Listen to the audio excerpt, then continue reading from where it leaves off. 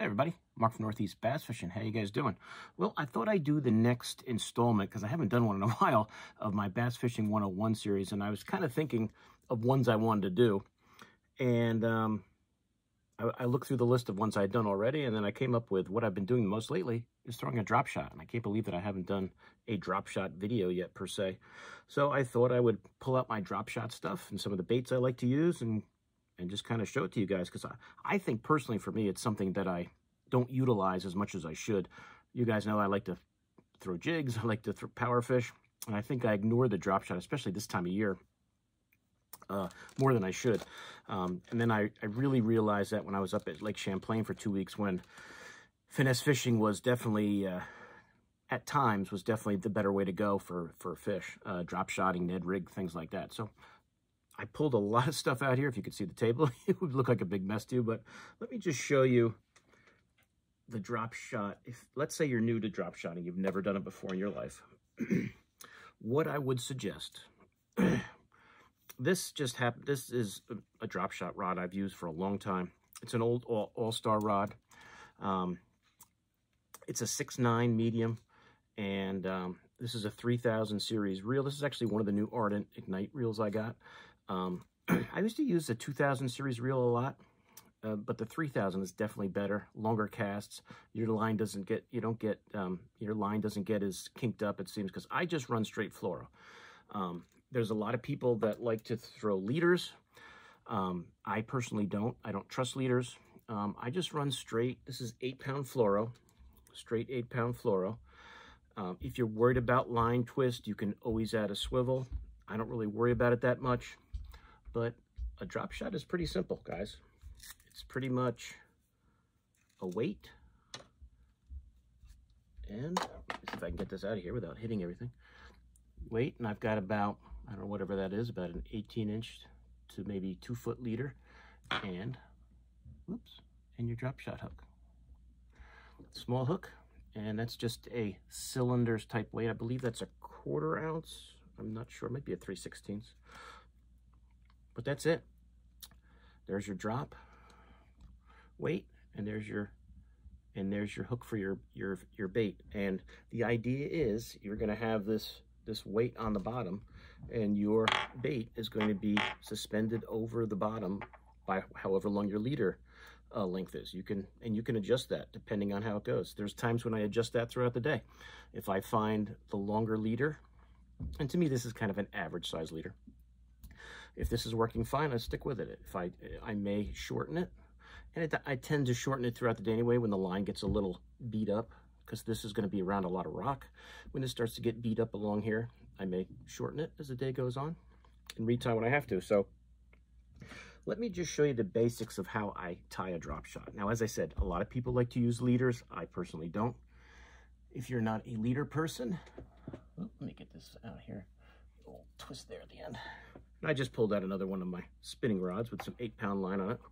So if you're gonna rig your drop shot, here's your fluorocarbon line. I prefer fluorocarbon. Some people like that braid to fluoro leader. I do not. As I said, I don't trust leaders. I've had them slip on me, so I have stopped using them. But what I do, I'm gonna just take your and I'll show you guys components more specifically, but I'm just going to show you how to tie one first here. I'm just going to take a size 1 drop shot hook. I think this is a Trokar here. You guys can get a good look at that hook. And I'm just going to run it up the line. And I'm going to give myself enough room to make a nice tag end but I will just run it up and I'm going to tie a Palomar because to me a Palomar is very strong, it's very easy, and if I leave myself enough for tag end, it's not a problem. So I will just run that so that I get my line. So you got your Palomar. I'm going to tie right here. And your Palomar is very simple, just an overhand knot. And then take your hook and go through that loop. I hope you guys can see this with my fingers in the way and cinch it down. Now, there's one other thing you want to do after you've got that Palomar on there. You're going to take your tag end, if I can find the tag end, and run it back through that hole of your hook, that tie, line tie. So run that back through there. Just pop that through. That will keep your hook straight so that when you're fishing, your hook will stand out straight. And then you're just going to take, now I'm going to look at that leader, and that's a little long, so I might snip it down a bit. And then I'll just take a take a look at it, see if it's where I want. Mm, get a little bit over 12 inches. When I put my weight on, and you can use any type, you can use a cylinder style weight, comes out of the rocks pretty easy. And this one, I think is, this is a 3 8 so that's a pretty heavy one if you're gonna fish deeper. And we'll talk about like weight size and hook size and things like that as we go on. You can use your tiered up, teardrop type. You guys can see that. That teardrop style, which I tend to use more. Or you can just use just around the, a ball style. Either one. Any of those are fine. If you guys like one more than the other, use it. I tend to go with that teardrop size. And then it has that little clasp on there. I keep getting the hook stuck on my shirt there. It has that, you guys can see that little, that little clasp there. What I always do is I'll go through that, if I can get through there. and that will hold it on. But what I do is I usually tie like an overhand knot just to keep it a little more secure. And you can do a double if you like. Sometimes I do. Just to keep that a little more secure on there so I'm not losing weights every five minutes. And then I'll snip off that tag end.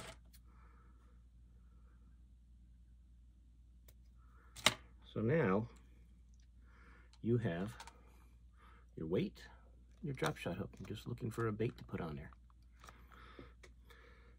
And as you guys will see, there's a ton of baits you could use. That's pretty much it, guys. Very simple. Very simple. No leaders. and you do, you know, you, you do get line twist um, throwing a drop shot. To me, you get line twist in spinning setups, no matter what you throw, it seems. But um, you do get line twist. You just kind of manage it throughout the day. A lot of times I'll kind of hover my bait and my line over and let that bait kind of turn around after I'm fishing it a while, get some of that line out. If you're fishing from a boat, at the end of the day, you can snip your drop shot off, take a nice slow ride, let your line uh, go out, you know, if you're just driving your boat, you can just let your line kind of go out and that'll that'll get the twist out at the end of the day if you're drop shotting all day. But I don't really find it's that, that big of an issue and I'll change my drop shot line maybe a couple times during a season. But that's how you tie one. It's very simple, very simple. And I would suggest anything like I, that's a six nine, that's a seven foot rod, a medium rod. I wouldn't go um, medium heavy to me is too stiff. Um, medium light you could do. I prefer a medium. I like to have a little bit of little little more power in there. Um, but anything from that six nine or even six six to say a seven two or a seven three I tend to stick, I, I, like that, I've used that drop shot rod, that All-Star for a long time, as I smack the weight around everything. Um, I've used this one just for a long time. I'm used to it. I like it. I have another Fenwick. Um, that is a that is a six six I've used sometimes. Um, this Veritas from uh, Abu Garcia, the seven foot medium, is a good one for it too. Whatever rod you like. Um, and what do you need is you need some drop shot weights, as I said. The cylinder type is good. This is good around a lot of rock. If you got more rock, that's probably better. That's a tungsten one. These are lead. Like I live, you guys know I live in New Hampshire, so lead is illegal, so we tend, tend not to use lead here. So those are lead ones. I use them if I'm not in a no lead state or a state where lead is legal. Uh, let's see, and some drop shot hooks. And I've got lots of different kinds. Um, this is a this is a more of a wide gap one from Mustad. It's one of their drop shot hooks. A lot of times I'm using the, the, the Trokar ones. I like those. That's actually a bigger hook. That's a one. I Usually I'm using that, that size one These are one knots. I think these are size one. I hope you can see these. They're small hooks because you're going to use small baits. So uh, let's see. I'll just show you some of the other hook types. This is some Gamakatsu uh, Finesse G Finesse hooks. This is a size one. That's the late great Aaron Martens there. And this is the same hook, but the one out size. G Finesse is a very good hook. Uh, let's see, what are some of these other types here? I mean, you can go. This is more of a uh, um, a a different type of drop shot hook, which I'll show you, which you guys can use if you want to kind of Texas rig your worm that you're using, your bait. Um, and you can just, any any store you go to, you know, that has tackle, these are just uh, the uh, split shot drop shot hooks from Gamakatsu. That's the red ones there, size 2, size 1. As you can see, these are all very small hooks. So the nickel ones, which I tend to use the nickel ones. Red ones, I'll use red sometimes, but got a bunch of those. Bunch of those. uh, let's see what else. Then I've got some of the other, the owner mosquito hooks are nice. These are size two, uh, size twos. It's another good one if you guys really get into drop shotting. You can try different hooks, see which one you like the best. I can't say I've found one I don't like. Um, I tend to use those Trokars, um, but I'll throw one. I'll try these. Like this is from Decoy. This is a nice drop shot hook. I think that's a size two. Yeah, size two. Um, I don't remember where I got these ones. These are from Japan. I'm not even sure I can say that name. Ryugi, Ryuji. I'm sure I'm hacking that up, but there's tons of drop shot hooks out there. You know, find the ones you guys like. I'm not going to say one is better than the other. Uh, let's see. There's also these type here. If you're if line twist is an issue for you, uh, VMC makes these. I'll show them to you quick. I haven't really used them lately. I just kind of stick with the straight drop shot hook because as I said, I'm not really worried about line twist but this is their spin shot hook. Let me see if I got one that's not stuck in the pack here. You could try those if, if, if, if line twist is giving you a real problem. You want to try to avoid it. This is the, the VMC spin shot one. See, it's got, you can tie your leader ahead of time and then connect this and tie it to here. You would have to tie this, tie some leader and then run if you're going to tie a Palomar. If you tie a different kind of knot, you can avoid that. But if you guys want to worry, if you worry about um, uh, line twist, you can always use those. As I said, I haven't used those in a while. And just some more Trokars here. And I just keep in these little plastic bags. Don't get rusty. Uh, but that's it. Um, as far as weights go, um, I tend to use a tungsten weight. I'm just trying to show you a few that I have here. Like I'll use like some Woo, from from Woo Tungsten. I'll use some of theirs. Uh, Wicked Weights has great tungsten weights you can use for drop shotting. These are just some diff. There's some teardrop ones. If You guys can see that. That teardrop size. You can get the cylinder ones that are smaller. It all depends on you know how deep you're fishing, how rocky the the, the, the terrain is that you're fishing. As I was going to say, if it's real, real, real rocky, this might be the better option. As I said, I tend to start with the with the teardrop. This is a small eighth ounce teardrop. And if I tend to if I tend to get, get hang up uh, hung up a lot, I might switch to that cylinder one. And I kind of start I'm trying to think. I would say that I probably start most of the time with a quarter ounce. Um, I start with a quarter ounce, see how that's working. Um, and as I said, also depends on the depth I'm fishing. If I was going to fish, you know, around here in one of my more shallow lakes, a quarter would be fine. If I'm going to go up to, let's say, the St. Lawrence River, Thousand Islands, and I know I'm going to be fishing heavy cover or heavy current and probably deeper, I might throw a 3 8 I might throw a half um, just to get that bait down there and be able to feel it better with that heavy current. So it also depends a lot on, you know, where you're fishing and what type of uh, what type of fishing you're doing.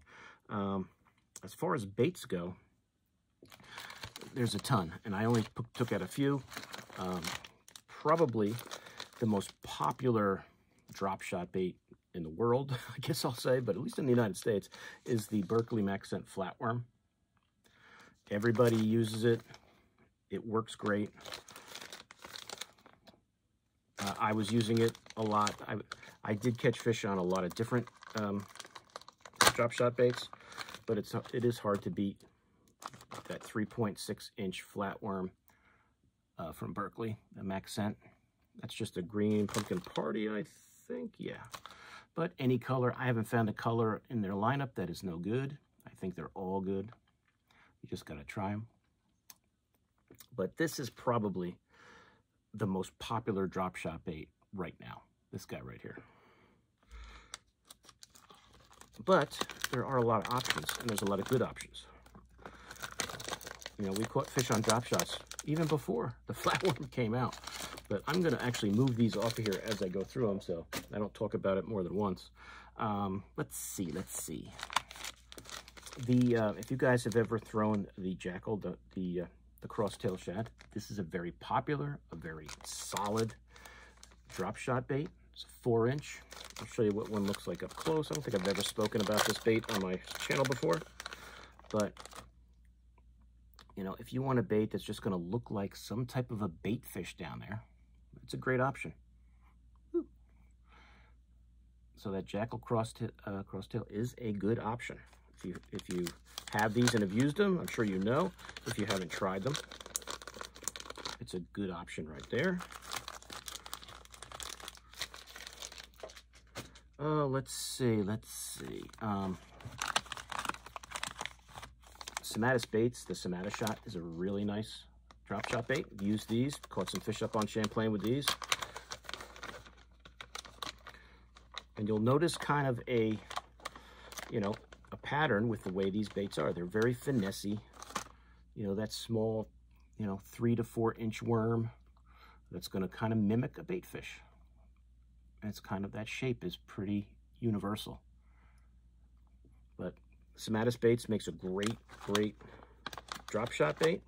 The Somatis shot. Lots of cool colors. And it comes in a 15 pack, so very reasonably priced, and you get a 15 pack. So I'll just show you a few. I mean, I've got a ton of colors. That's just a watermelon. So a 15 pack is nice. Goes a long way. Oh, let's see, let's see. Um, Beast Coast has their Magic Flick, which is another awesome drop shot bait. That's the chronic color there. That's just their pink one. I don't know if they just call it. I bet just Morning Dawn they call it. Morning Dawn HD. Uh, the chronic. And that's the Flick Desire. But I'll show you what one of those looks like up close. And a lot of these drop shot baits make good Ned baits too. But that's the the Magic Flick from Beast Coast. Excellent bait fish imitator. Looks great on a drop shot. Caught a lot of fish on Champlain last week with these two. Um, that was kind of the three baits. I'm trying to think if there's anything else I kind of got into the rotation. It was pretty much the flatworm, the magic flick, and the Somata shot. I think were the three main ones I used. If I see something here, I'll, I'll add that to the list. But I think those were the three main ones. Uh, let's see. Uh, Strike King has lots of cool, and I just pulled out the uh, the half shell. They have they have other drop shot baits. I just kind of grabbed these off the shelf. The half shell is a very good one. Oops, can't really see much of them. The color. It's all pushed to one side. These are good drop shot baits. As I said, guys, all of these will work. You just got to throw the one you have the most confidence in. But the half shell is a very cool looking drop shot bait from Strike King. Some cool colors. I don't know what they call that one. That's called Magic. And you get some lots of cool different colors in there. Now, if I'm going through one particular bait um, style and you guys want to see more on it, let me know. I'll do a video just on that bait. I mean, if you want to just see, talk about the flatworm, we can do that. If you want to just talk about, you know, Somata shot or the Magic Flick or any of the, the uh, the Strike King ones, we could do that. No problem. Just let me know when you guys uh, comment on the video. But the, the, the, the half shell, when it came out, was very popular. I think the kind of the flatworm is kind of taking the, uh, getting all the press lately. Uh, let's see, Gajo, their uh, Spirit Shad is a nice drop shot option. It's, you'll see that, you know, that, that drop shot style bait. And just to show you, when you, when you guys fish these, I like to just nose them on the end. So you can imagine that your hook and this bait is just gonna, when you're shaking your rod, that it's just gonna look like a bait fish swimming in the water. It's actually a simple way of fishing, but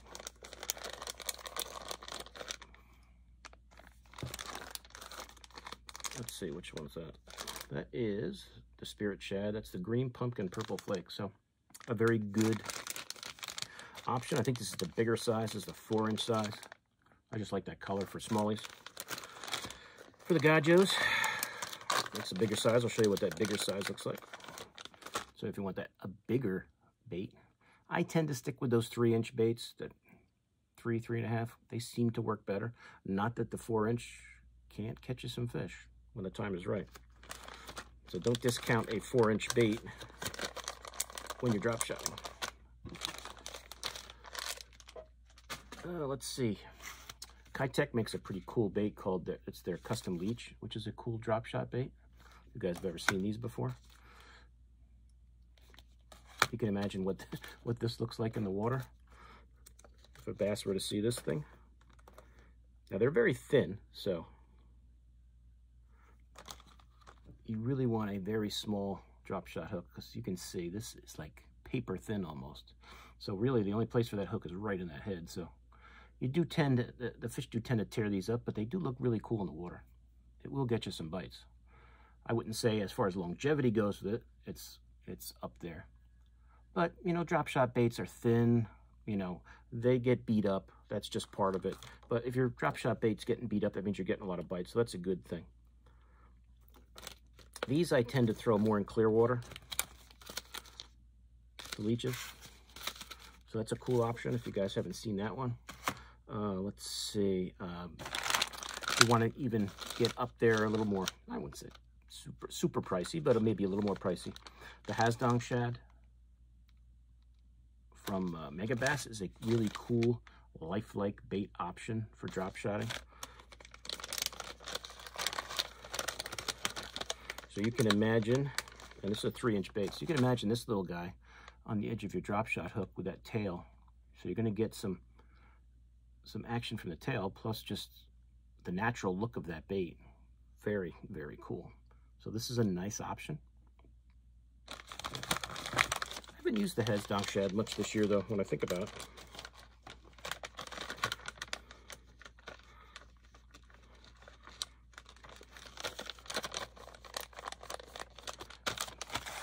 Uh, let's see. The spark shad you could use too. That three inch spark shad. I tend to use this more on a ball head, but you could use that as a drop shot bait if you like. I'm sure there's you know people that might be watching this saying, don't forget the spark shad. So the three inch is a good option for that. I tend to use the has the, the Hazedong there from uh, Megabass for drop shotting, but you could use a spark shad. I really haven't used it much as a drop shot when I think about it, but you can give it a shot. Um, a newer bait on the market, which is really cool, is this uh, drop minnow from Great Lakes Finesse.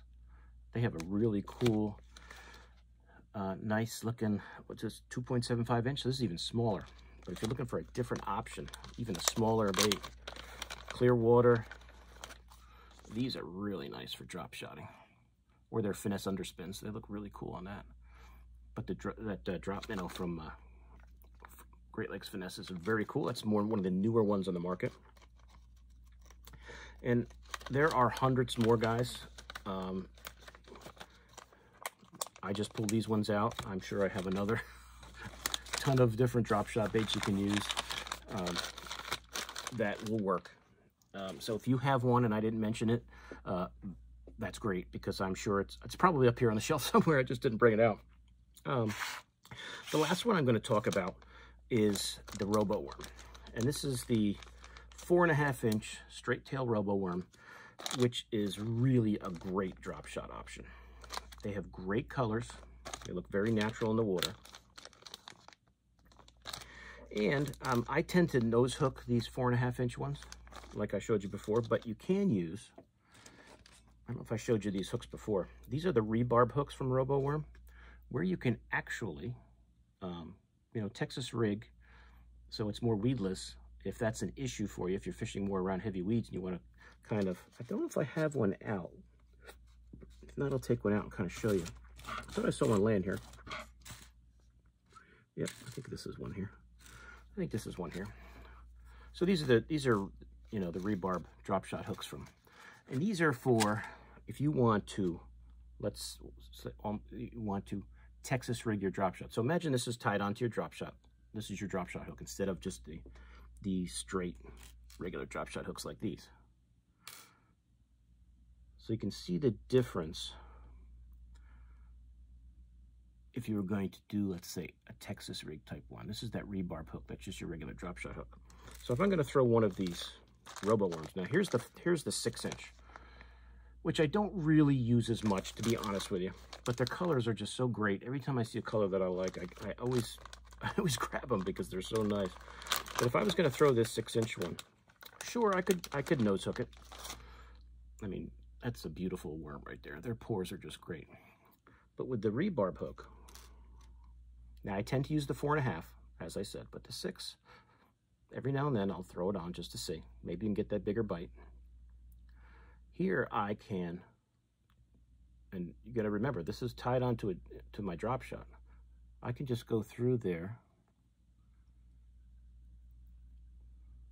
Oops, that's definitely a lousy rigging job. That wasn't too bad. You got so much salt on them. That's better through the middle.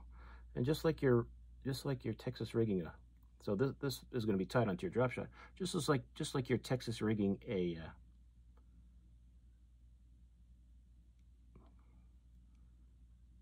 regular worm, now that's on the edge of your drop shot.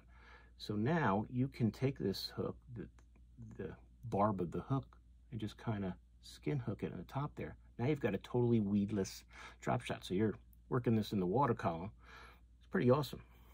Pretty awesome. So these rebarb hooks do have their time and their place. Every now and then I'll switch up and try this. But it's a great option. Then the fish will just come up and eat that, and he'll, he'll pop that right off and get hooked up. So if you're looking to get more of a weedless option, if you're fishing in more weedy areas and you want that, the rebarb hook with the robo worm is a great idea. Great idea. And now my hands are covered with salt. Um, but that's kind of like the different baits that I use, the different hooks, the different weights. And now as far as fishing the drop shot, so let me get this here without totally making a, this is like the, everything is getting all tangled up here. Okay. Now I'm going to try my best to... Uh, let's see, let me get a, give me a drop shot bait here. Something easy. Put a flatworm on there. See, I go right for the flatworm. So I'm gonna just gonna nose hook my flatworm. So I'm going drop shot fishing.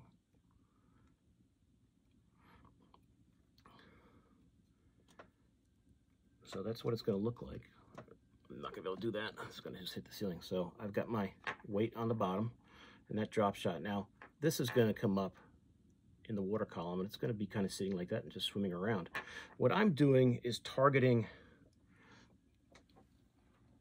it depends on what kind of structure you want to fish. Now, I could fish, I have done well in lots of different scenarios with the drop shot. sometimes I have I have done well on the outside of weed lines with a drop shot. I have done well flipping, or not just kind of flipping, but I'm just kind of taking, a lot of times I'll just hold on to the weight and I will like pitch that drop shot into holes in the weed beds. That can be very effective. If you're just fishing like bridge pilings, um, a rock, you know, you're just targeting rock rocky areas. If you see rock on your sonar and you're just pitching areas where you're hoping that those fish are hanging out around those rocks, that's a great place for it. Bridge pilings. I don't really throw a drop shot around wood a lot. Um, they, it does tend to get hung up with that open hook. Uh, I would not suggest that you uh, target big laydowns or trees with a lot of branches sticking off. I think you you might get, you might get a, a, few fish on, but getting them out of there and not getting that hook stuck into a, a, branch is, is difficult. When I see a lot of wood, I tend to pull out away from it, um, you know, and get away from those the gnarly areas. Now, sure, the rocks are gnarly and things like that, but you know that's expected. But I wouldn't say wood is a great is a, is a is somewhere where you want to throw heavy wood is a, somewhere where you want to throw a drop shot. Stick to rocky areas, outside of weed lines. If you have a clear area inside of weed lines, um, docks. If you've got docks that actually have some depth to them, a, a drop shot just pitched next to a dock can be very good, very good. If you've got a lake that has a lot of docks and pontoon boats, right next to those pontoon boats, try not to clang your weight off of the pontoon boat. be careful, you're fishing around someone's boat. But um, docks can be very good. Uh, shady areas, uh, weeds, holes in the weeds. Now, thick, thick weeds, no. Uh, that is not where your drop shot's going to shine. The outside of that weed line is where you want to focus on. Uh, let's see. Um, and that's kind of, you know, and if you have a place that has a lot of, if you have fishing a river, like if I were to go, last time I was on the Connecticut River, I did not bring my drop shot stuff. After I was there for an hour, I wished I had it. Um, so the next time I go there, I'm definitely going to be doing a lot more drop shotting, pulling out more into the, the deeper channel, some finding some rocks that are maybe off the bent that I don't see, that I just see on the sonar, getting around some of those bridge pilings and getting, you know, a little further out and when I'm fishing those heavy rocky areas, because I did throw a Ned a lot around those bridge pilings and, and got hung up a lot and lost them. Maybe with this, it won't be so bad. But the areas, sometimes areas are just so gnarly. You know, you gotta, you're gonna lose some baits, but that's just, that's just part of doing business when you're throwing a drop shot. Um, but, you know, I would suggest focusing on weed lines, rock, deeper water, um, and things like that. Stay away from the wood, the, head, the laydowns, a lot of branches in the water. That's that's going to get you frustrated with it getting a lot of hangups. If you're a shore fisherman, it can be tough um, unless you have an open. If you're uh, you know shore fishing on, a, like I say, a reservoir that's just rocky, you could launch a drop shot out into deeper water and work it back to the bank. You could do that. Um, you know, it's tough. I know from the shore, from the bank. You know, if you get hung up, it's you know, unless you're going swimming for your drop shot bait, you know, sometimes you're going to lose some some weights. Um, but that's it. Um, light line, six to eight pound. I don't usually go to 10.